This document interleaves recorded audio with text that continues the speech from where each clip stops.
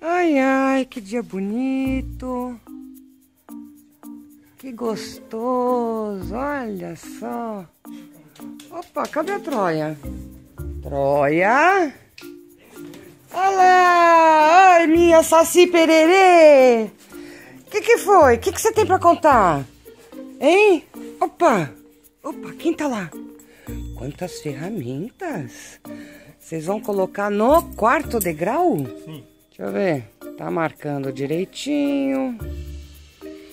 O tio fez a porta com a madeira daquele antigo galinheiro que sobrou, que nós trouxemos pra cá. Usou a grade anti-saruê, então é uma grade muito resistente. Olha lá, já tá tudo marcadinho. Agora o tio vai furar a parte de baixo. Vamos lá. Atenção, olha lá. Olha.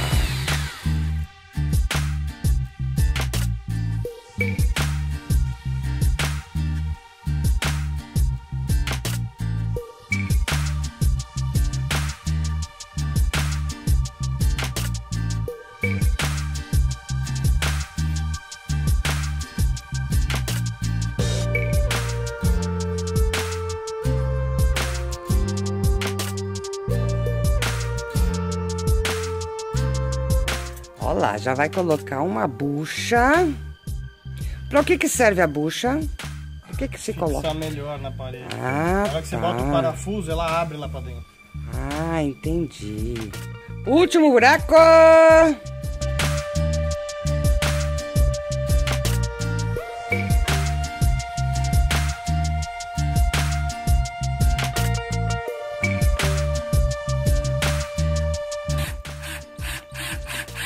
Agora ele tá apertando os parafusos. Aqui os parafusos.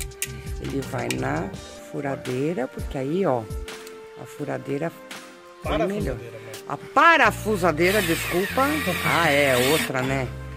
Vamos lá. Parafusar. Ops! Faia técnica. Eita, faia de novo. Aí, ó, como parafusa legal. É isso aí. Deixa eu ver se abre e fecha. Uau! Aí, ó. Perfect. Não dá pra forçar muito, não só. Ó, tio fez perfeitinho, na medida, direitinho. Não é à toa. Ah, vai ter uma trava. É óbvio. Um Porque pouquinho. não adianta aí, ó. Vai ter uma trava que o tio vai um colocar. pra a Pra gente aqui, conseguir fechar a portinha sem que a Troia consiga abrir, né, Fábio? Yes! Então, escrevam aqui embaixo. Que cor vai ser o portão da Troia? Quem descobre? Vamos lá? Troia, dá um beijo aqui. Eba, vou poder ficar solta ainda hoje. Dá tchau, galerinha. Tchau.